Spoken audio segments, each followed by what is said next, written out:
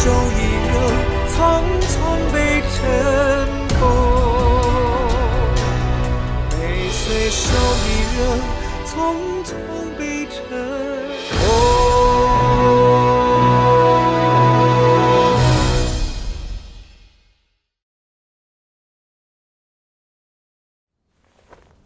臣妾拜见陛下，不知陛下今夜来历正殿，所谓何事啊？起来吧。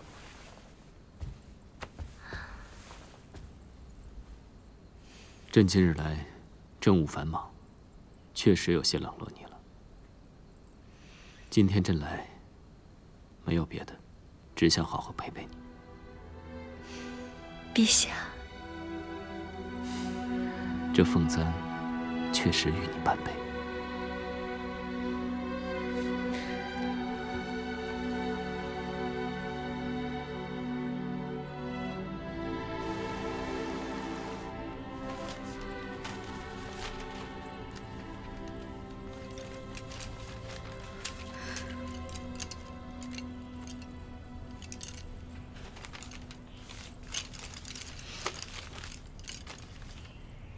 大理寺追查你小产一事的所有卷宗记录，我都帮你弄来了。你看了已有二十余日了，可找到什么线索没有？这上面记录了我小产之前接触过的所有药物和膳食，连衣裙、首饰、胭脂都拿去验过，皆是无害的。还包括那杯茶，里边也只是多放了芍药和甘草。我甚至循着相生相克之道，在药典里面去找与此二物相克的东西。可是，可可我那段日子从未接触过。也许，你小产真的只是意外，就是因为之前那盒红麝青鹅。不，我自己身体的感觉不会错。也许是大理寺漏掉了什么，一定是那杯茶，那杯茶一定有问题。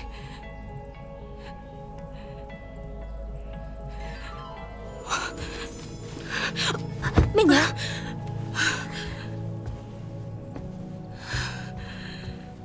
媚娘，你已经好几天没有合眼了，去睡一会儿吧。我没事。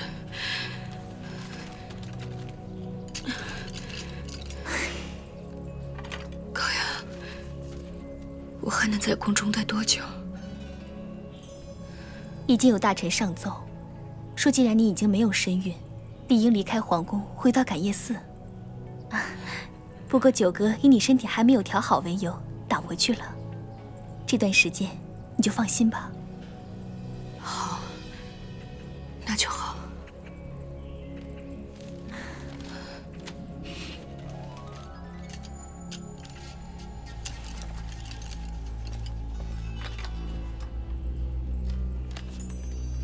这王皇后还真是够大方，这金蚕丝织就的帝女花却非凡品啊！你看，这织线都是用最复杂的念八则织法织成，配色和裁尾也都分明的很。最别致的呀是这织料。嗯，在慈禧面前站久了，居然还能闻到一股清香。这难道是金蚕丝的味道？你说有一股清香？嗯，是啊。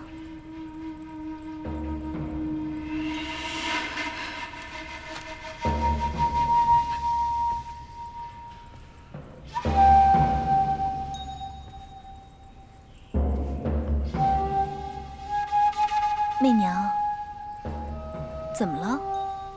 奇怪，这金蚕丝本该无味，这股香气淡淡的，若有若无。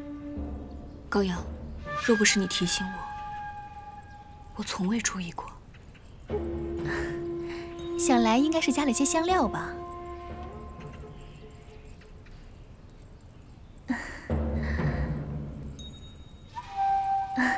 时辰不早了，我得回房府了。若是有什么事，随时派人来找我。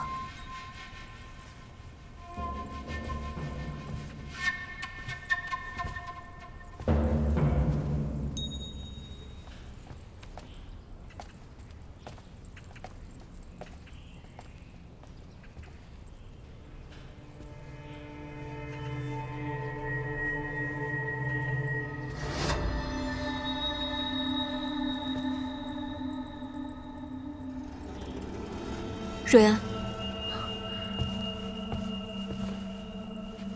娘娘有何吩咐？将这幅帝女花织锦裁下一块，给周太医送去，请他看看这上面的金蚕丝，可有何与众不同之处？是。确实如太妃所推测。微臣验过这片织锦上的金蚕丝，确实不简单呐，每一根上面都浸染了无花。无花本身是活血的药物，单用无害，但却与甘草相克。所谓甘草克无花，两者混在一起，便可产生巨大的毒性。我正是因为长期嗅闻无花，再加之喝下的那杯甘草茶，才导致血崩滑胎的。我说的对吗？周太医，不知这片织锦，太妃从何而来？自得悉你要回宫时起，本宫特令人以金蚕丝绣此帝女花之图，今日方告宫城，还望太妃笑纳。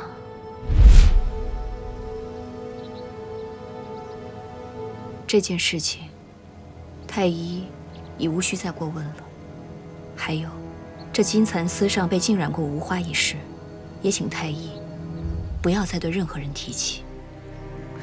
可是，周太医，你在宫里这么多年，自当明白多一事不如少一事，明哲保身方是上策。难道周太医愿意为了一个小小才人出身的太妃，去得罪整个关陇门阀吗？臣不敢，微臣多谢太妃提醒。日后自当绝口不提此事。有劳太医了。今日已足一个月了，陛下依然未让武媚娘重回感业寺。重儿，明日一早卯时，召集关陇一系四品以上官员，汇聚甘露殿外，与为父一起参奏，请陛下。遣武媚娘重回感业寺。是。父亲大人，后庭事务以皇后为尊。皇后前几日曾来信说，若要将武媚娘驱逐出皇宫，她也可以尽绵薄之力。她可以率后宫嫔妃上奏陛下，武媚娘目无尊卑，扰乱后宫。好啊，让她一同来。是。娘娘，皇后亲笔信。是吗？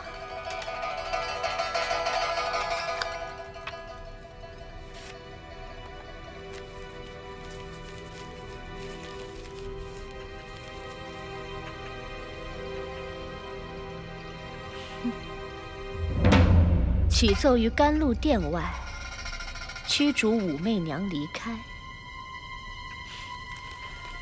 听起来倒也有趣。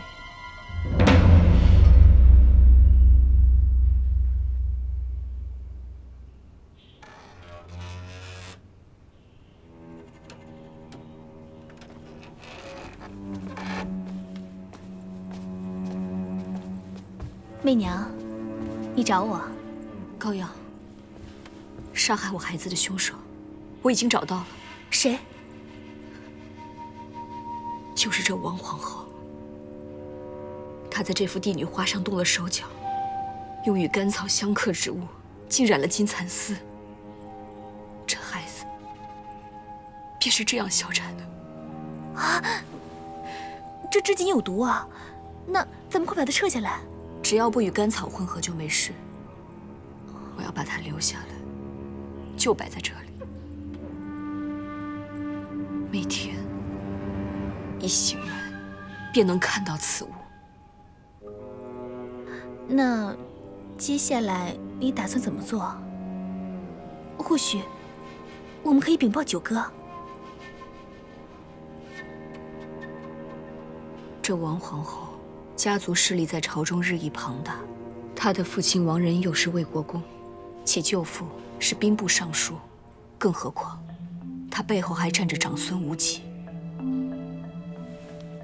陛下现在刚刚登基，地位尚未稳固，他或许可以冷淡皇后，但是绝对不能贸贸然的怀疑和处置她。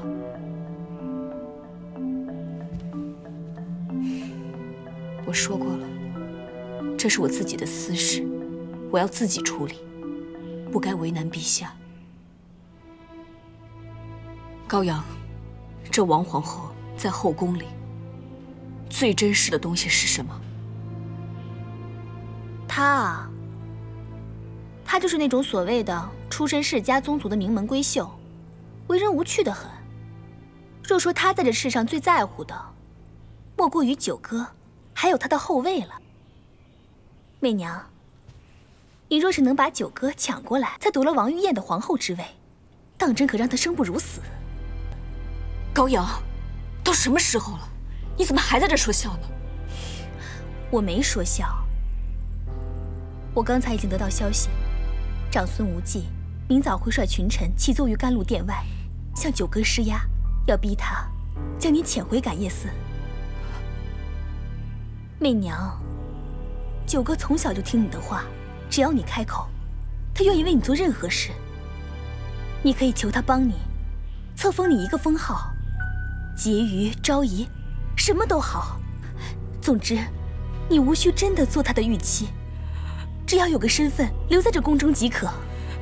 不行，这不可能。为什么？我做不到。不这么做，你明天便会被遣回感业寺的。你难道不想留在这宫中为孩子报仇了？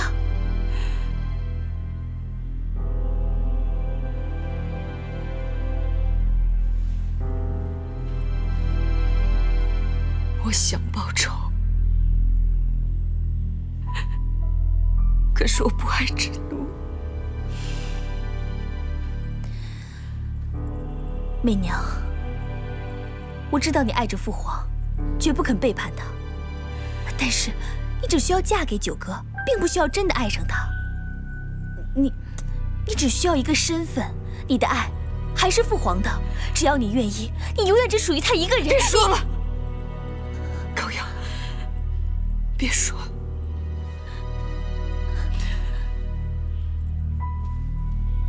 做不到做不到。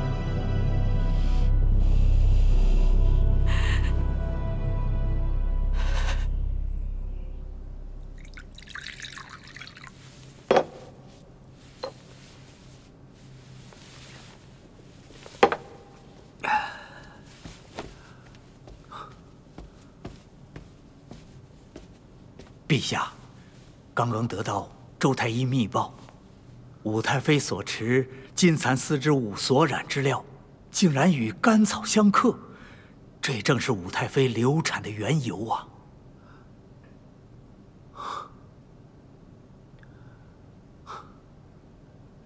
媚娘复仇心切，朕又如何才能让她留在宫中？哎呦，陛下，不能再喝了，保重龙体要紧呐。哟，老奴见过公主殿下。九哥，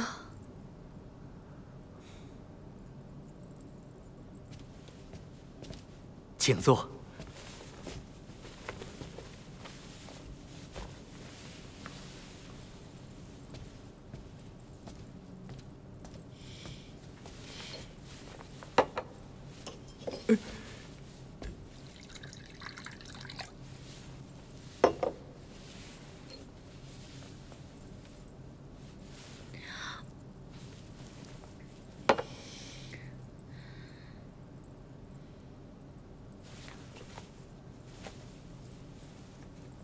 老奴告退。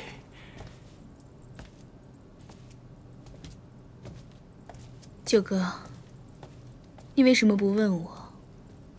一个月已经到了，媚娘是否愿意玉器身份留在这宫中啊？她是不会答应的。果然，还是你懂她。你知道，从明日起，就再也见不到她了，所以一个人在这喝闷酒。她呢，宁肯失去报仇的机会，郁郁而终，也始终不肯对不起父皇半分。如此这份深情，还真是像当年的我跟卞姬呢。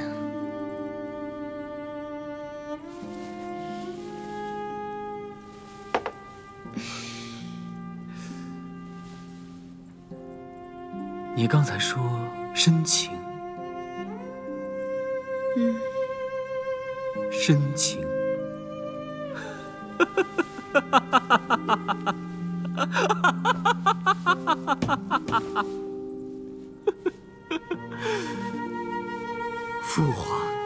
真的是个了不起的贤明帝王。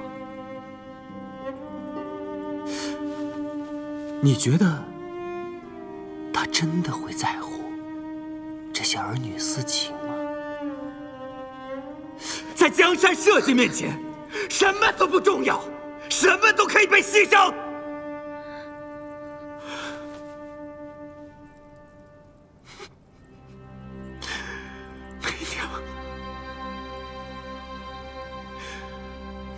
此付出，真的值得吗？真的值得吗？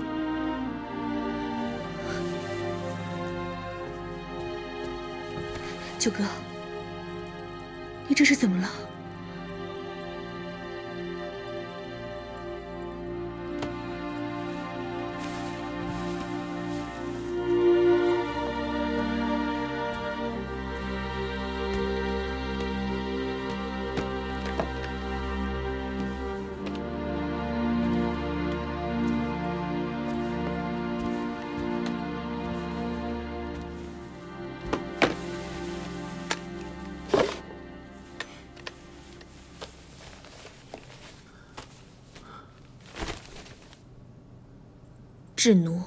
女主武氏灭唐之说，虽属妄言，仍不可听之任之。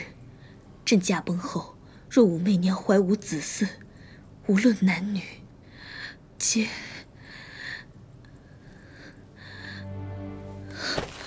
皆除之。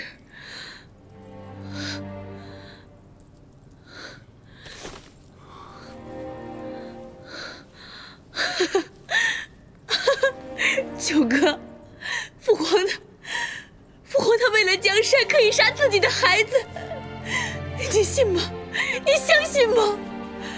他，他，没错，没错，这才是我们的父皇，这才是我们的父皇。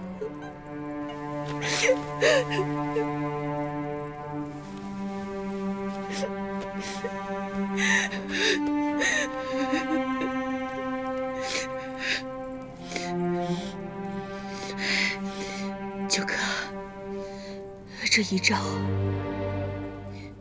还是别让媚娘看到吧。若媚娘看到，将是多么大的打击！烧掉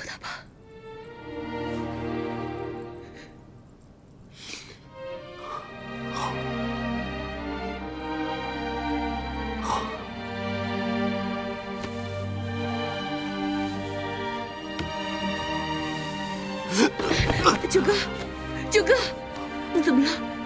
叫太医，太医，太……我扶你去休息。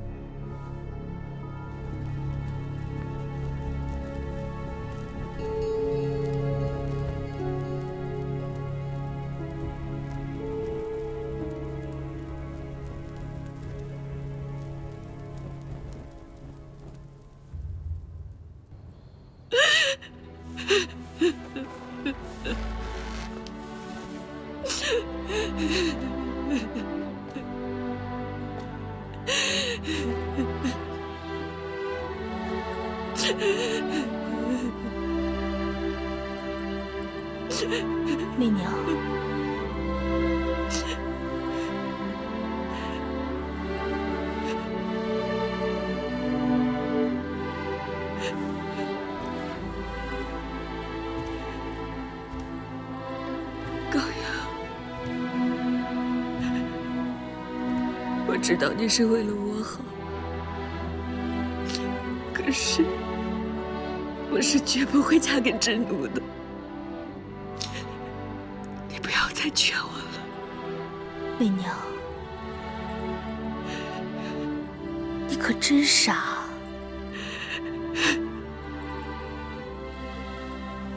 你真的以为自己是在维护什么完美无瑕的爱情吗？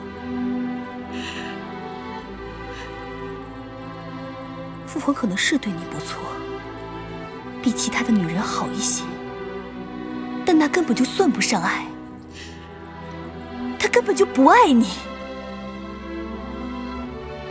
高阳，你在说什么？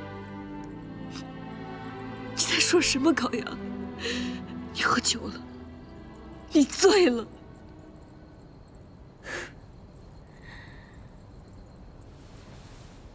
若他真对你有情，那这是什么？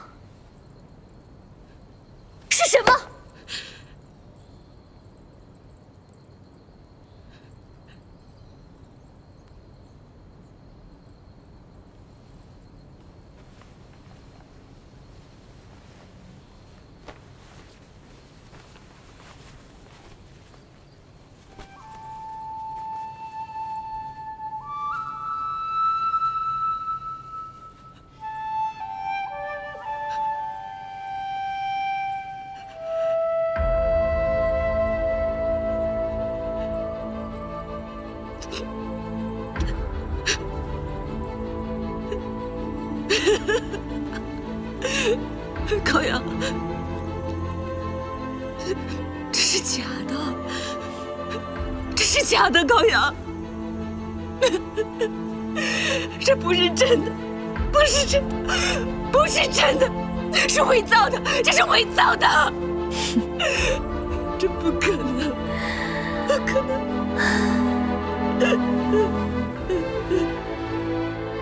你若觉得是假的，那就是假的吧。你已经一厢情愿的骗了自己这么多年，无妨，继续骗下去。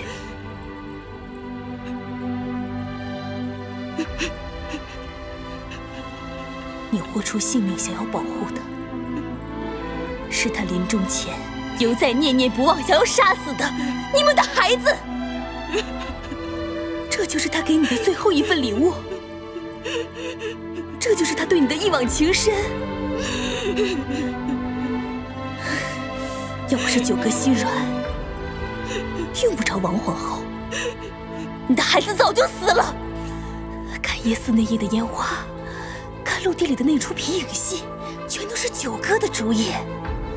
他为了博你一笑，为你编出了一出又一出的美梦。够了，够了，够了！不要再说，我不要听，不要再说。媚娘，你不要看！媚娘，你听我说，媚娘，媚娘，你听我说，媚娘，你听我说，你冷静一点。你听我说，你听我说。男人都是靠不住的，一份哄人的爱情，一个孩子，就能捆绑女人一辈子吗？为什么？凭什么？你留下来，不为了任何人。不为了父皇，不为了孩子，为了你自己，为了你自己留下来。你本就是适合在深宫后庭生活的花朵，在感业寺你会提早枯萎的，你知道吗？媚娘，媚娘，媚娘，媚娘，媚娘，听我说，去吧，去甘露殿，去找九哥。让他赐给你一个封号，能让你留在这儿，媚娘，去吧。父皇下那道遗诏的时候，已经背叛了你们的爱情，你又何须再顾忌什么？我真的不知道，不知道！骗子，骗子，骗子！媚娘，媚娘，你记住。你不是要报仇吗？你不是要给你的孩子报仇吗？这是你最后的机会了，你记住，你记住！啊啊！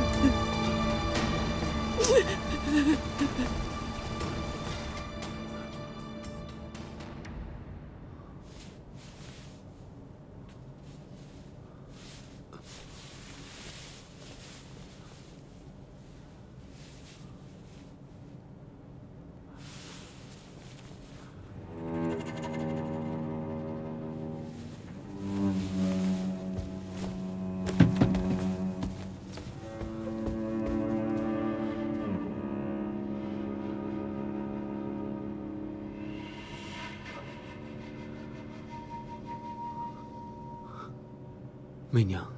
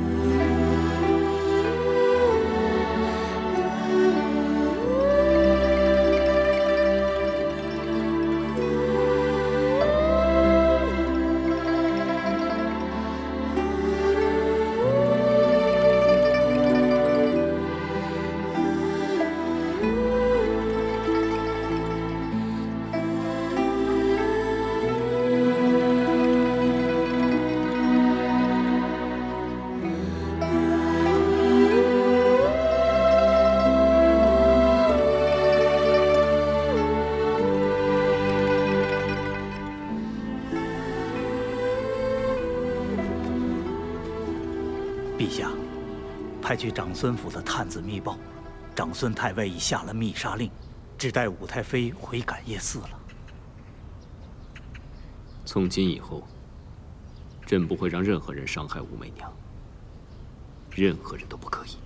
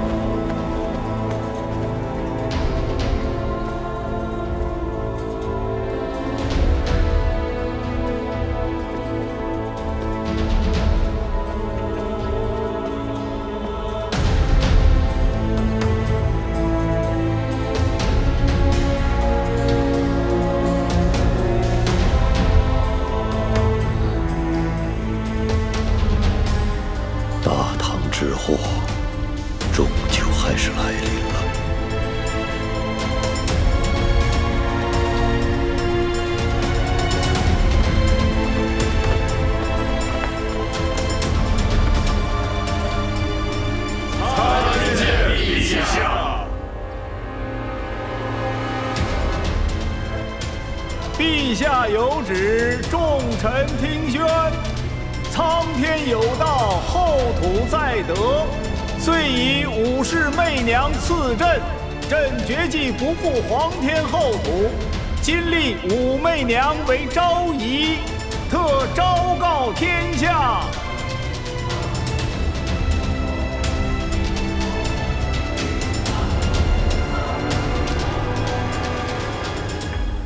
诸位卿家一早至此，想必有事要奏。启禀陛下，陛下所言一个月的时限已到，且武太妃的身体也已痊愈，臣等以为应将其送回。长孙太尉，没有孩子便不是太妃，只是当年陪同高阳入防府的随嫁侍女而已。朕已说了，武媚娘已是朕的昭仪，所以根本无需离开。可是陛下，哎，此地并非是议事之所，要是诸位卿家还有异议，便随朕移往太极殿详述此事，不必在此耽误。臣等遵旨。媚娘，这一次没有人能赶你走，我不会再让你离开。放心吧。陛下。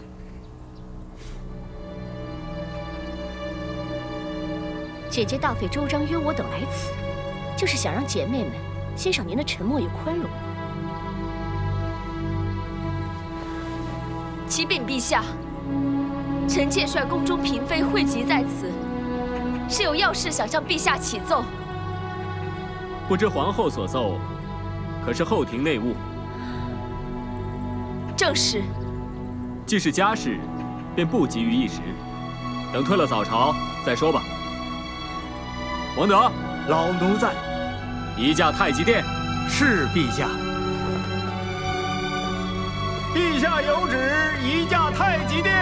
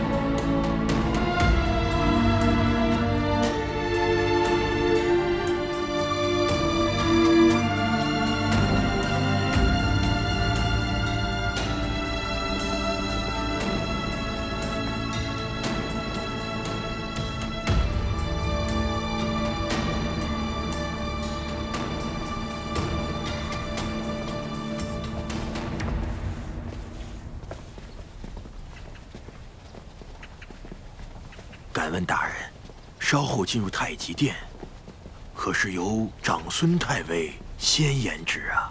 太尉乃是堂堂的顾命大臣，国之功勋，若让陛下而由此龙颜大怒，我等岂不是让陛下犯了降罪功臣之罪？万万不可！还是由老夫先出面。魏国公，你乃一国国丈，如若惹怒了陛下，岂不是陷陛下于不孝吗？裴行俭，大人，一会儿太极殿上，你要力劝陛下，不能纳武媚娘为昭仪。遵命。但是如果陛下坚持不为所动，如何？如若陛下执迷不悟，以死相拒。大人放心，下官一定遵命。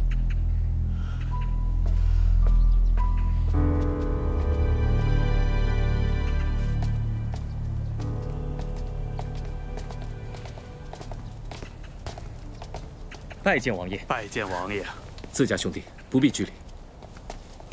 王爷，甘露殿，甘露殿出大事了！哎，大惊小怪的，不就是长孙太尉率了朝臣去甘露殿上奏吗？当然不是。方才，陛下在甘露殿当众宣诏，要把武媚娘封为昭仪。啊？什么？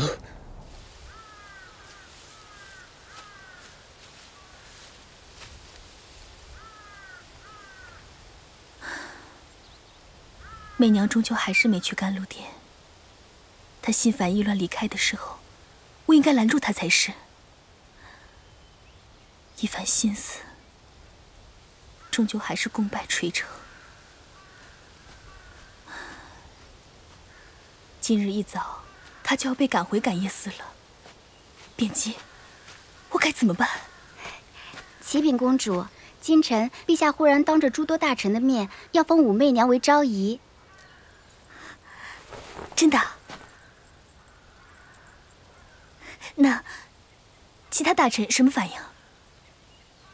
出身关陇氏族的诸多老臣极力反对，但是今日朝堂上，也已有李义府大人和吴王，由他们站出来支持陛下，想必太极殿内定有一番热闹吧。三哥，也许三哥这次并不情愿帮九哥吧。不管怎么样，九哥愿为媚娘据理力争，是个好消息。咱们这便回宫吧。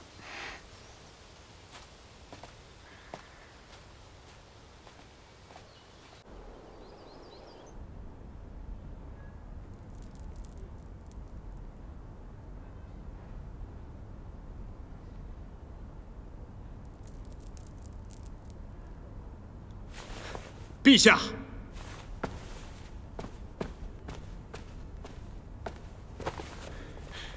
陛下，封那武媚娘为昭仪，上不服礼法，下不合人心，望陛下收回成命。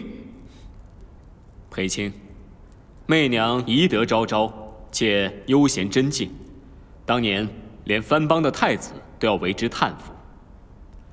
列为昭仪，乃是大唐之幸，裴青却为何以为此事不可？陛下，陛下。微臣以为此事根本无需询问我等意见，此乃陛下后庭内务，何须在意他人看法？裴大人，你身为人臣，应该知进退、明尊卑，不在政务上为君排忧解难，反倒在陛下的后庭内务上指手画脚，到底意欲何为？陛下，他这根本就是避实就虚。陛下，微臣有违圣意，罪该万死。但若因此能阻止武媚娘重返后宫，不负先帝之誉，不愧于人子之道。微臣虽死无妨。你，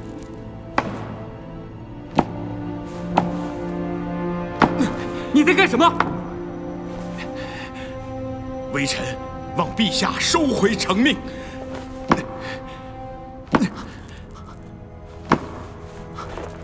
裴行俭，停！朕命令你。停下来！陛下，若不收回成命的话，臣愿血溅太极殿，以死明志。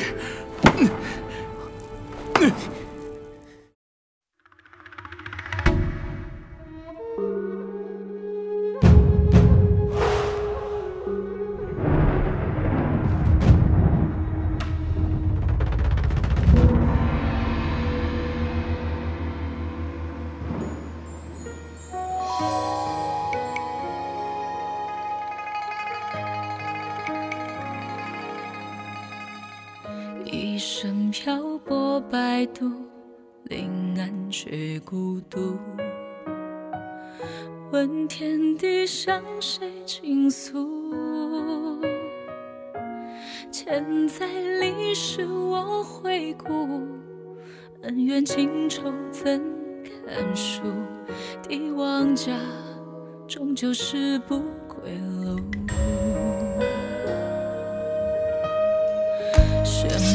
鬓边沧桑，马蹄声声乱。